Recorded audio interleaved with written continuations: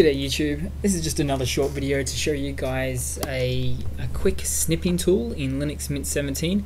Now I call it snipping tool because uh, that's what the default native uh, application is called in Windows 7 and Windows 8 for example.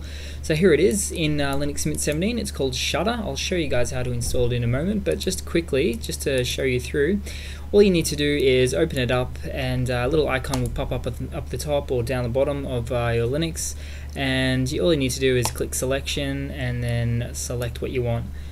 Hit enter and it will go through to the uh, the list along with the previous selections.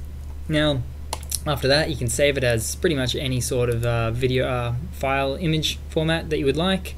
But uh, also a neat little trick is to export it to PDF too which is kind of cool so that's pretty much it guys. And now to installing it uh, there's a number of ways to do this. You can do it the GUI way but I like to do it the old-fashioned way. So all you need to do is uh, open up a terminal as I've just done and type in the following sudo apt get install shutter.